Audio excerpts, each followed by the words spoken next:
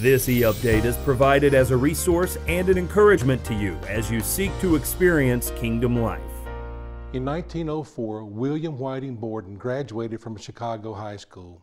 As heir to the Borden dairy fortune, he was already extremely wealthy. For his high school graduation present, his parents gave 16 year old Borden a trip around the world. As the young man who had trusted Christ to the ministry of Dwight L. Moody traveled through Asia, the Middle East, and Europe, he felt a growing burden for the world's hurting people. William wrote to his mother about his desire to be a missionary.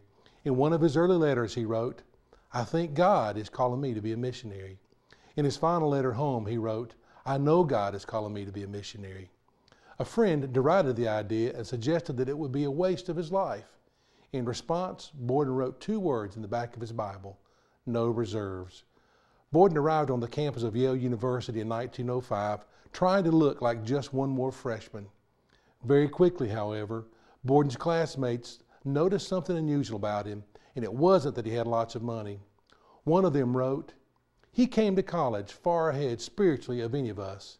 He had already given his heart in full surrender to Christ and had really done it.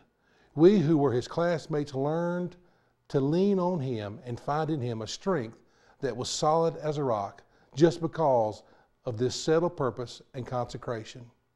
During his college years, Borden made an entry in his personal journal that defined what his classmates were seeing in him. That entry said simply, say no to self and yes to Jesus every time. Borden possessed a heart for God like few others.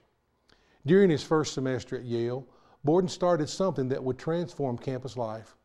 One of his friends described how it began. It was well on in the first term when Bill and I began to pray together in the morning before breakfast. I cannot say positively who suggested it was, but I feel sure it must have originated with Bill. We had been meeting only a short time when a third student joined us, and soon after a fourth. The time was spent in prayer after a brief reading of Scripture. Bill's handling of Scripture was helpful. He would read to us from the Bible, show us something that God had promised, and then proceed to claim the promise with assurance. Borden's small morning prayer group gave birth to a movement that soon spread across the campus. By the end of his freshman year, 150 freshmen were meeting weekly for Bible study and prayer. By the time Bill Borden was a senior, 1,000 of Yale's 1,300 students were meeting in such groups. Borden attended a student volunteer movement conference in Nashville, where he learned about the great number of Muslims in China. He felt God wanted him to go to China, where he, where he hoped to work with Muslims, and in time his missionary call narrowed to the Muslim Kansu people in China. Once he fixed his eyes on that goal, Borden never wavered. He also challenged his classmates to consider missionary service. One of them said of him, He certainly was one of the strongest characters I have ever known, and he put backbone into the rest of us at college. There was real iron in him, and I always felt he was of the stuff martyrs were made of and heroic missionaries of more modern times.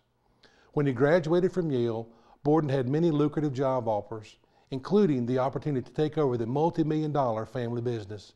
However, Borden was determined to fulfill God's call to serve as a missionary. Once again, he opened his Bible to the flyleaf and wrote two more words no retreats. Borden set sail for China on December 17, 1912. He stopped in Egypt to study Arabic so that he would be better equipped to work with Muslims. While in Egypt, he contracted spinal meningitis. Within a month, 25 year old William Borden was dead. When the news of William Borden's death was cabled back to the U.S., the story was carried by nearly every American newspaper. A wave of sorrow went around the world. Borden not only gave away his wealth, but himself, in a way so joyous and natural that it seemed a privilege rather than a sacrifice, wrote Mary Taylor in her introduction to his biography.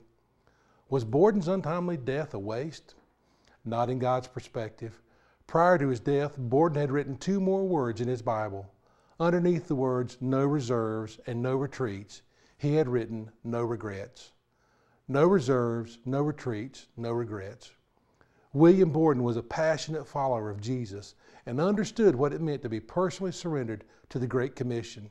His was a life dripping with spiritual vitality. Spiritual vitality, that's not a phrase that we hear very often, but it is something we must possess if we are to take the whole gospel to the whole world. In fact, speaking of spiritual vitality in the church, someone has said, spiritual vitality describes a quality of church life which is evidenced by impacting lostness, multiplying churches and disciples, and thriving in the task of fulfilling the Great Commission. My prayer is that God would grant us that kind of spiritual vitality.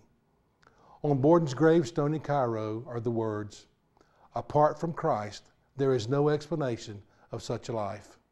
May we live in just such a manner. I'll assure you this if we live with no reserves and no retreats, we will die with no regrets.